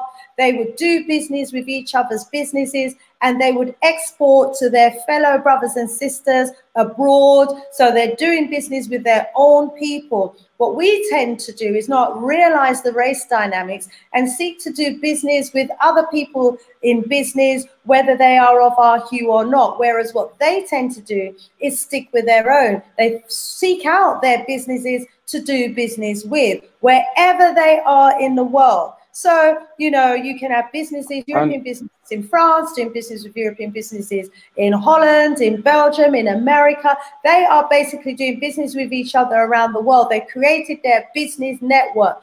We need to also create our own business matrix where we are circulating and bouncing that pound within our community, not just locally, but globally. And this is where the, the trillion dollar power spend that you're talking about the Americans having being spent not just in America, but also in Africa, also in the Caribbean, and wherever we are in the world, and building all of our own economies. Uh, Prophet, I heard you wanted to jump in there. Then we're going to yeah. bring in Lady O, who we haven't heard from yeah. for a while. Yes, Sister Shanice, that's a very poignant thing that you're saying. because anywhere you find the Europeans on the continent, they only they only clique with themselves, and they they have their own private armies within Africa, protecting themselves. And the key factor to what Brother Michael was saying, um, he said it three times. They will not allow you, and being strategic. One of the strategies that we must look at is defense. We must look at defense. We must run away from that. We must look to defend anything that we're creating. Because just like Black Wall Street, them drop a bomb on it. See? When the Black Panther Party was creating something for black people, they, they infiltrate them, them, um, them turn them into criminals and destroy the organization. The same with the Universal Negro Improvement Association, Marcus Garvey, and ACL, them destroy it. You understand what I say? So um, we must look at defense to defend our e-commerce. As we could create all this economics, we can create all this money and these things. And once them, once them discover um, where we have, yeah, them just come thief and box up and take it when we can't defend it. Because that is the nature of who we're dealing with. We're not dealing with people who like to share. They like to share when they must share out the something. Because them always hold back most of it. You understand me? So defense is a key thing that we have to look at when we're dealing with economics.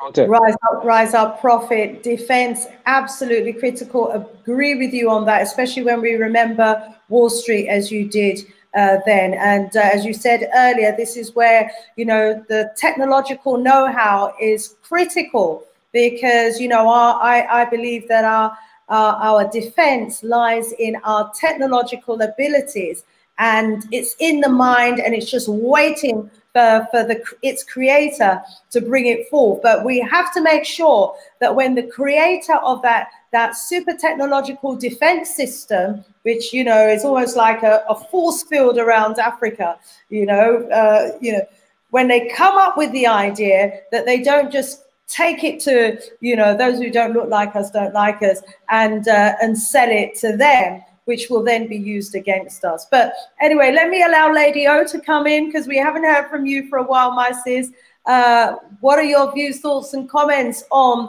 the conversation that we're having uh, we've been having so far? Um my my this is how i see the strategy. And it's what everybody's saying on the panel and i also am looking at what the chat is saying. The reality is um, as we all are aware of africa has leadership and africa leadership is a part of the problem and the reason why they're part of the problem is because the people are kept at a standard of living where they see and they continually see Europeans as the hope, the answer, the solution. And not just Europeans, because Asians aren't Europeans, but they're just a very light shade that's very close to European. What we what's very important for us to understand is to build Africa, we have to build ourselves. The strategy that I see that makes sense invest in if you are in America. I'm in Canada, so I can't partake in Michael's strategy. But any of my contacts that I know are there, I send them to Michael's site. And this is the strategy. The Chinese are taking over the motherland. As much as we want to educate ourselves, they're taking over because they're not making deals with the neighborhood. They're making deals with the leadership. Hmm. So let's just be real here. They're not making deals with those that are on the ground, they're making deals with the leadership. So this is how I see it. This is just how I look at it. And this is what I know to be true here in Canada. I don't know where it else anywhere else. But wherever the Chinese two or three are gathered, you know, we say where two or three are gathered, there it is. Wherever they gather, their money go back to the homeland. It is part of like a contract that once they leave the homeland and they migrate to anywhere, they build up, they create a community wherever they are. That money stays there, but a portion of that money goes back to the mainland. The mainland stays and the mainland does its thing, but wherever you go outside of China, all the Chinese that are in all the different countries in Africa, none of their money bounces into the community right there. It goes right back to China. All of the infrastructure, all the stuff that's happened in the motherland, based on all of the documentaries that I'm seeing, and also heard of the speech from the UN ambassador, she put everybody on blast, and that went viral last year about the loans and the debts that the African countries are in through France, through Germany, through everybody else. Because the leadership is the one making the plans, people. How can we take back the power, people? Yes, you're saying to send engineers back. Yes, you're saying to, but the leadership is the one that's going to be making all the blue tape, red tape, purple tape, black tape, yellow plate, and all the tapes that's there. So I, this is how I see it. They're not going to allow us to just bring all of our intellectual property and build up and they just sit back with their hands folded. They're not going to. So this is how I see the strategy. Michael's framework is great if we can duplicate it in Africa I would love for it to be duplicated in Canada. Why? Because I'm here. And I know if we can get a community here, just the fact, just the mere fact that if we in the UK and America and Canada, if we have our own self sufficient community, trust and believe.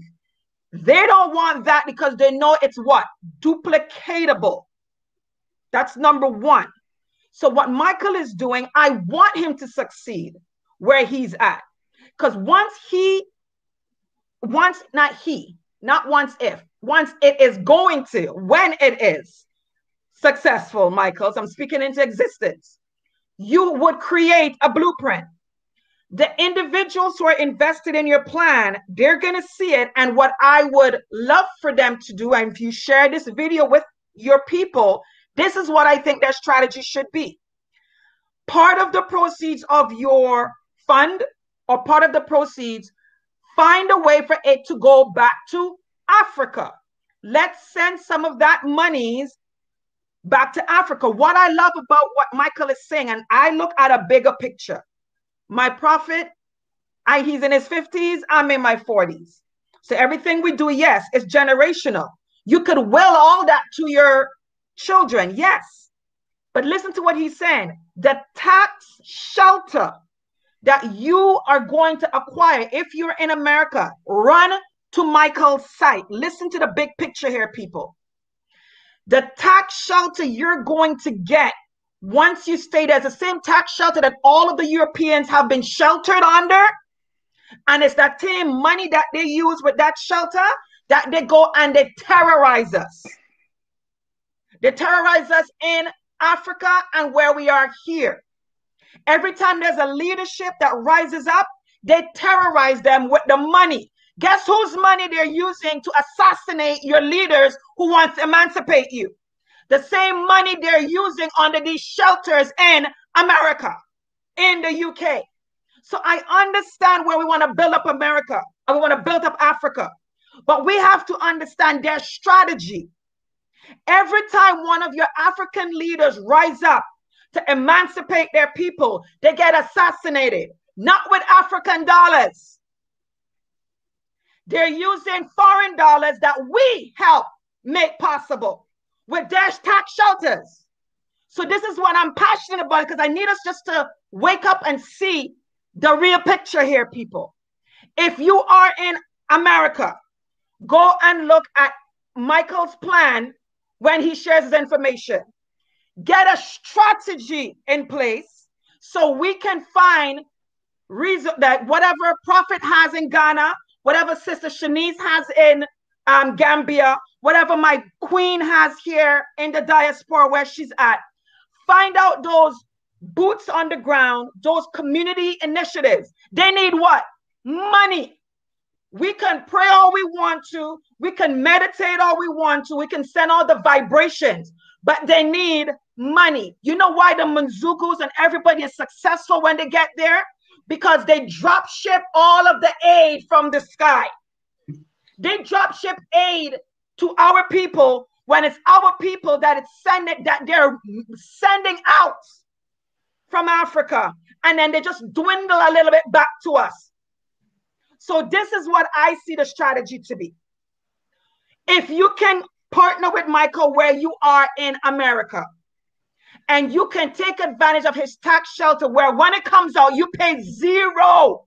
Listen to the fine print. The details is in the fine print. The devil is in the details, and the details is in the fine print. When that money comes out, apart from you building up your community and the eyes seeing right that's up that we are building our community, that money now find Africa.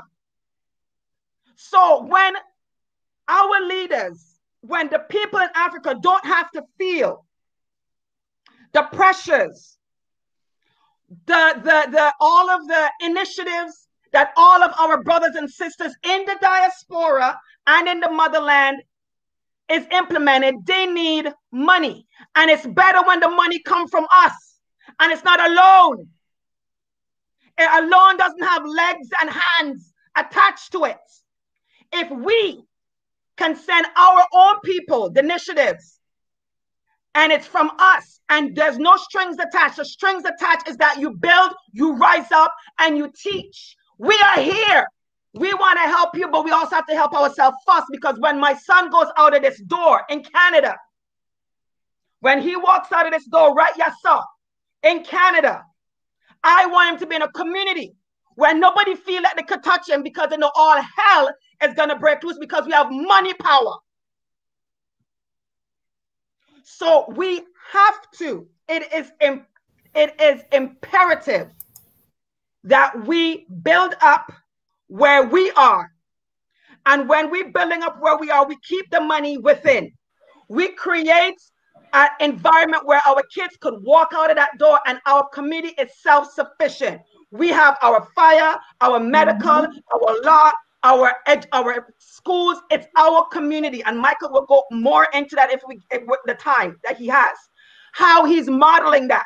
It's going to be our committee and my prophet. We could have your erudition taught in our schools in America and Canada. They can get Af- Aphrodite. They can get the Afrocentric, all of the information that you have in the UKK. They can they can be a part of our school system.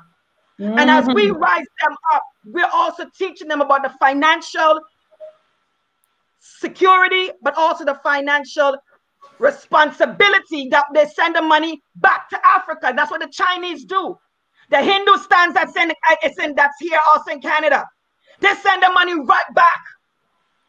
Yeah, rise up, rise up, sister lady. Oh, on fire for real, my sis. You know, we have to be the change that we want to see. And as was said earlier in the talk, you know, Africa can change within one generation. We can rise up Africa within one generation if we have mm. that right mindset. And if we have a powerful Africa, then wherever in the world we are, we are powerful. Just imagine, you know, if a if a child in Canada or a child in America is assaulted by the police and the African government stands up and says, That's my African African child. You know, we want your embassy to come to our offices right now and account for what's happened. We want to know what investigations are happening, what actions are going to be taken. We want this matter looked into. A powerful Africa is will be able to defend us as a people and defend our children wherever we are in the world. But a weak Africa will not be able to come to our rescue or our defense at all. You mentioned, Lady O, when you was talking about aid as well. And I've got some information here. Let me quickly bring that to you, and then we're going to go back to the panel. It says here that in 2012, the last year of recorded data, developing countries received a total of 1.3 trillion, including all aid, that's investment, income from abroad. They received a total of 1.3 trillion. This is so-called developing countries. But that same year, 3.3 trillion actually flowed out from those same countries to the developed, so-called developed worlds. In other words, developing countries sent 2 trillion more to the rest of the world than what they received from the so-called developed world. And if we look at all the years since 1980, these net outflows actually add up, it says, to an eye-popping total of 16.3 trillion. That's how much money is being drained out and leaked out of sub-Sahara Africa uh, and has been for the last decade and continues to because we need to, as well as, you know, doing what we need to do wherever we are in the world, also make sure that we have our sights and our interest in what's going on in Africa, because a powerful Africa economically, a powerful Africa politically, a powerful Africa uh, spiritually means that Africa can contribute towards our development wherever we are in the world. When African businesses go to Africa, yeah, and they're pitching to African governments to do mm -hmm. to help build their infrastructure. Where do we think they're getting that money from? They're getting it from their Chinese banks. When the mm. Indians comes to Africa, Africa to do business, they're being backed and supported by the by the Indian banks because the Indians are investing in their banks, which means that they have money to then reinvest in in in their their, their nation's businesses. And so it's really important, whatever strategies that we develop, that we also consider how it can be applied on the motherland to contribute towards the growth and development of mm. the continent. And if we all had that mindset, if we all had that mindset, it would influence our actions. Our thinking would influence our actions and, and our strategies and our plans.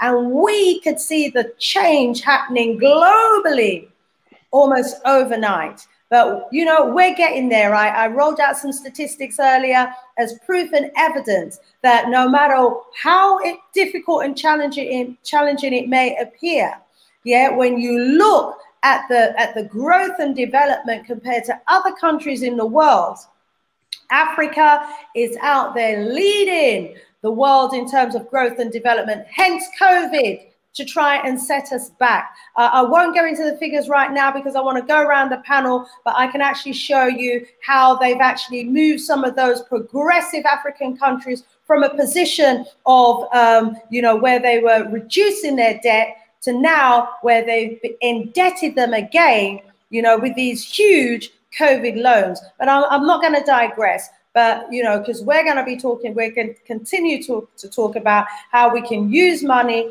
and our economic strategies and plans to help develop us as a people wherever we are in the world. Let's go to brother michael then back to prophet uh, then uh, lady Kayi and lady o to finish off our discussion this evening.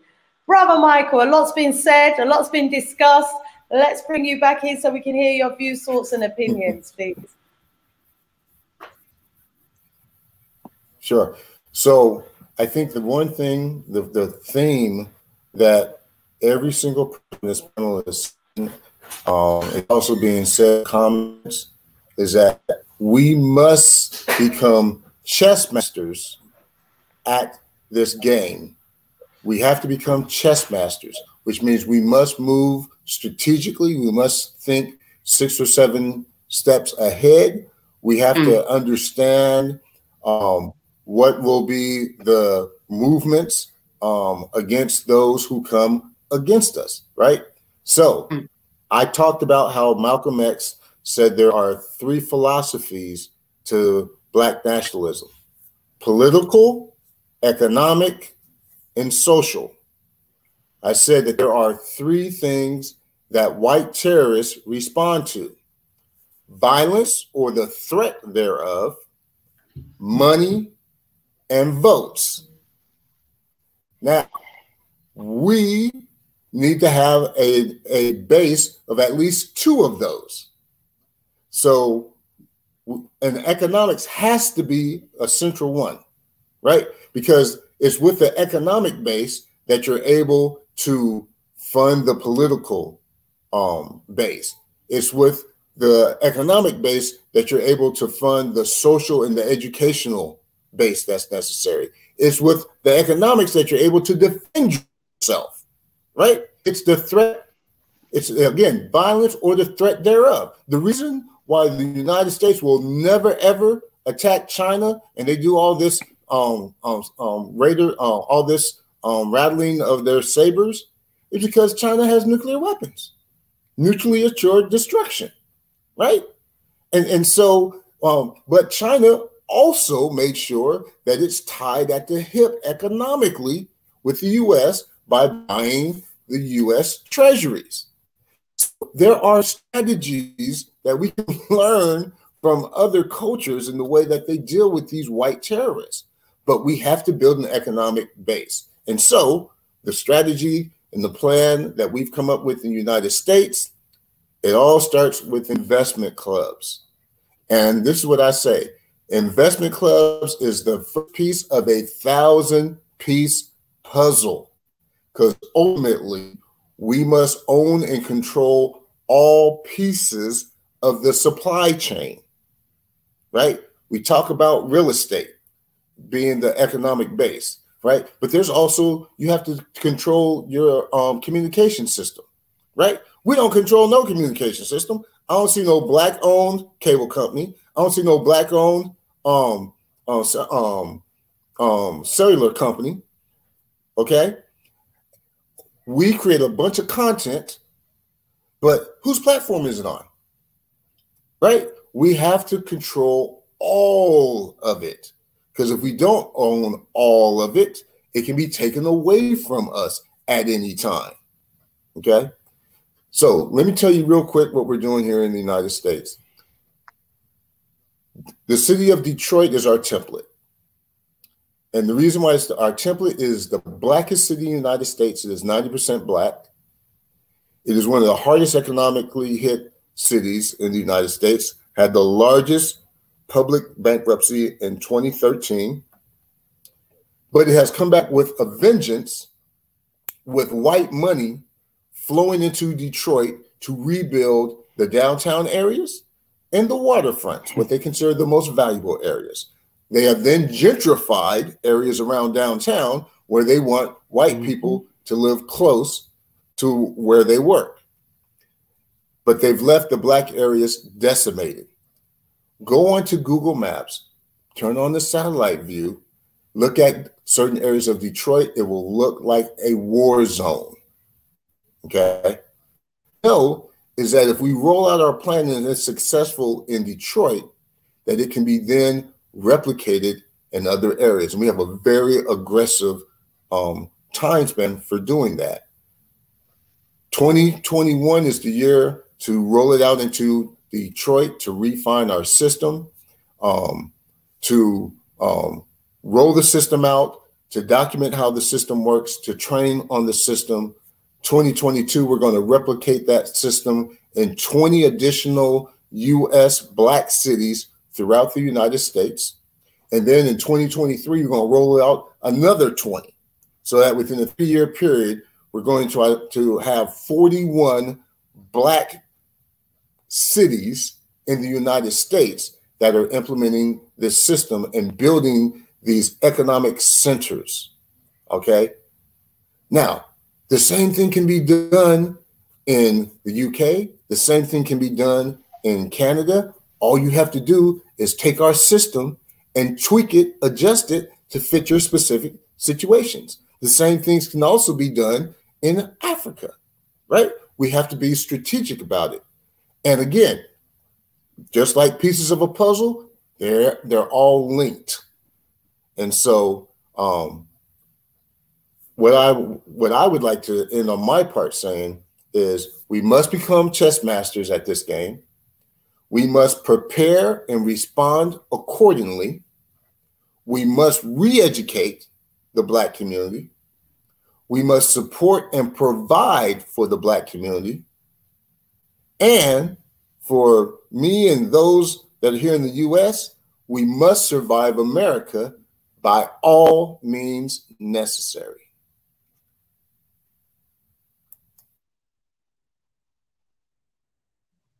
Rise up, rise up, my brother. Family, um, our brother Michael's website address is on the screen now. Check it out. There's a lot of information there uh, about the um, Black business strategy that he's been uh, touching on for us today. Thank you so, so much, uh, Brother Michael. Prophet Kwaku.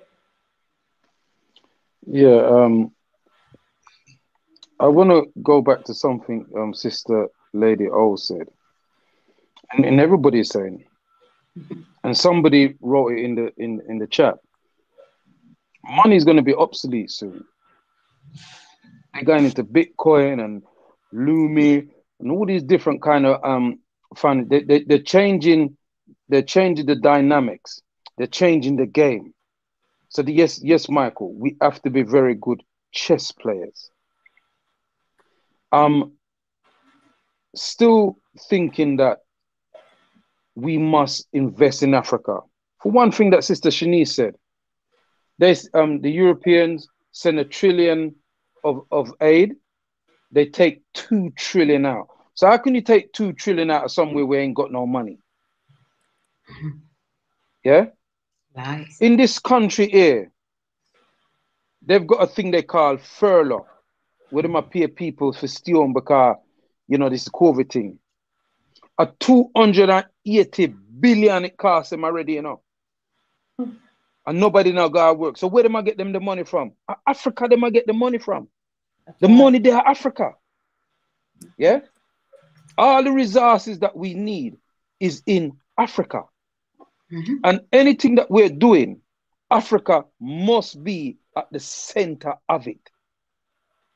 So, yes, Michael, I will look at your website and I will have a look at your thing. But my whole thing is about redeveloping Africa. And the main thing is this all these strategies that you're talking about, brother. You see, if you can't military, mil- militarily protect it, they will take it from you. And where you gonna do? If you can't defend it physically, where you gonna do? Because that's how you. These guys are terrorists. That's what they do. They do. History is best qualified to reward our research Malcolm X tell us that. Study your enemy, and you know if to deal with him in the future. If we don't build up a defense force to defend our things, everything with, with else we're doing is gonna fall apart. And lastly, we don't have leaders in uh, in in Africa. We have treasoners in Africa who's doing business. There's only one or two of them. Them is not leaders. They're colon, they're, they're near colonial masters. And we must africate our children them about these terms, about the behavior and the uh, and the actions of these type of neo-colonialists who will sell out them people them. So we, you know, there's very few leaders in Africa right now. They're treasonous people that occupy those those places. Some of them is, is standing up now um, um, Kagame in Rwanda, and my man in Tanzania, yeah, and even even the um um the Ghanaian um, um prime minister, I start lick upon them with certain things. But we mu- we must have a Central African Defense Force. And, and I'm, I'm not just talking about dropping bombs. I'm talking about cyber defense. Yeah? I'm talking about economical defense, cultural defense, spiritual defense, and physical defense. Hotep. Hotep, rise up, rise up, Prophet. Thank you so much uh, for that wonderful uh, contribution. Let's go over to uh, Lady Kayi on the Diaspora channel. Thanks so much. Like, uh, there is so much I personally embrace by hearing everything, you know, everyone on the panel said. And what I can say, you know, towards the end is we African people, some people say black people, we are powerful and we can do anything. It's all about us being organized. So the right strategy have to be on the table. We have to buy from our brothers and sisters. And we also have to learn to start trusting one another. So okay. it's good, it's beautiful to meet here online and you know discuss about lots of different things that have been affecting us for so long. Excuse me. But if you really the type that want to be part of the solution, the emails is already in the chat because there are lots of things we have in store, we are working on right now. And personally, I don't like putting things out. And I'm sure the panel will agree with this. So make sure you, you know, you contact, uh, you send us an email and then our monthly meeting you will be able to join that. I personally promote Black businesses only on my channel. That's what I do. That's what I dedicate my time and energy to keep doing. Yes, some people will find it boring promoting businesses. I say that's your own. But I know it matters. Our businesses matter. So wherever you are, we are talking about what? Power. Where's the power comes from? We can say so many things, but if we don't have the money, we, we can have great ideas, great, great plans, but we need the money to start moving things around. So if you are the type that, uh, you know, you don't support our businesses, please kindly, humbly know that you are also part of the problem start supporting our businesses wherever you are. And then the next step is for us to meet and you letting us know what you are doing, what you can what you can actually put on the table. Because you know, all of us we want the change. And I think and I know that we are ready for it. So now let's be organized and keep it moving because we can actually do this. So people in the chat, beautiful family in the chat, they are asking for your contact. So please, everyone on the panel, please put your contacts in and you can know more. I put also my Instagram uh, uh link in the chat. You can DM me, you can email me, and I'm going to do the same for our brothers and sisters. You know, also that are like-minded people that are more about change because I said it already last time where is the white savior complex comes from is because they don't see people like us. That's how it used to be on the continent helping moving things around. So they think the person have to look certain way to be someone that can help them that can change things around. No we are powerful. We are strong. We are smart people. And we definitely can do this. But one thing I'm, I'm going to beg our brothers and sisters here, let's be organized. And thanks so much for having me on tonight, Sister Shanice. And uh, so good, you know, meeting Brother Michael. I would love to know more about what he's doing. Brother Kweku, he's right here, not, not far from where I live. So I'll just cross the road and we take from there and say, and Lady Oh, I'll definitely, definitely email you. But we have lots of work to do. And let's start and start now. If you don't remember anything from this stream at all, no money is power. Thank you. Thank you so much. Thank you so much, uh, my sister. And uh, just want to add to what you're saying. I mean, the time has whizzed by already. Uh, we're just a minute away from the top of the hour. I want to thank each and every one of my panel members uh, for your contribution today. Their uh, contact details is in the chat. Do go to the websites and do get in touch for more information. And uh, just to remind us, you know, that we are what money is. You know, we are the energy, you know, and we are the ones that have the currency and we are the ones that can determine what we do with that money. And therefore, we have the power to be the change that we want to see. We are the creators, we are the ones who are able to think creatively and then to manifest that creativity into existence. If we look back into history and we see the wonderful, monumental, huge, colossal cities, empires, kingdoms, and buildings that our ancestors did. It just gives you a glimpse into our potential as a people. And so we need to start thinking outside of the box, acting outside of the box, and reclaiming our greatness as a people and begin to look inside for the answers that we're looking for uh, to manifest. Because inside of us,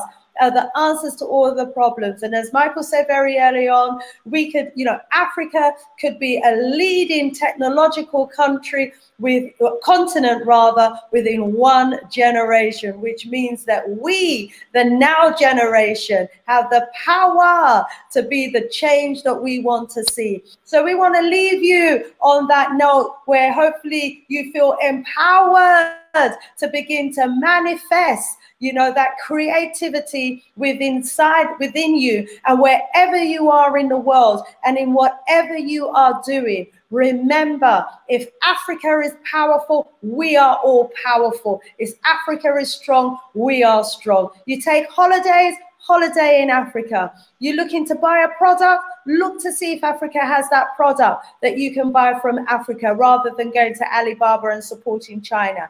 If you're looking to find a business partner, you know, ADDI, doing huge amounts of work on the continent to identify credible business partners that we can partner with. If you are interested in the model that our brother Michael was outlining today, go to his website, find out more, and contact him to see how you can maybe set up a similar model or franchise within the country or within the area where you are, so that you could be helping to contribute towards the growth and development of our community. Let's be conscious about where we're spending our money who we're spending our money with and how we're spending the money and how we are investing it. Let's find each other, support each other. Someone was asking whether Prophet's got land in Africa, a house in Africa. He's got land in Africa. He's got about 500 acres of land in Africa. It's awaiting its developers. It is awaiting the real estate developers to come in with a plan to develop it. Maybe we'll have to do a show just on that. So on that note, I want to rise up the entire family, all of our viewers and family. Please, please be black with us. Same time next strong, and also have a blacktastic strong. More love, more power, more voodoo. Hey, and I think we got Dynasty Mir joining us next strong as well. So tune in nice and early. He's a man that's doing the rounds across Africa. Voodoo, more power, more strength, more love. Thank you, Michael. Thank you, Prophet. Thank you, Sister Kayi and Lady O. Sister Shanice out of here for okay. now. Rising up the panel. Hotel. Peace and love.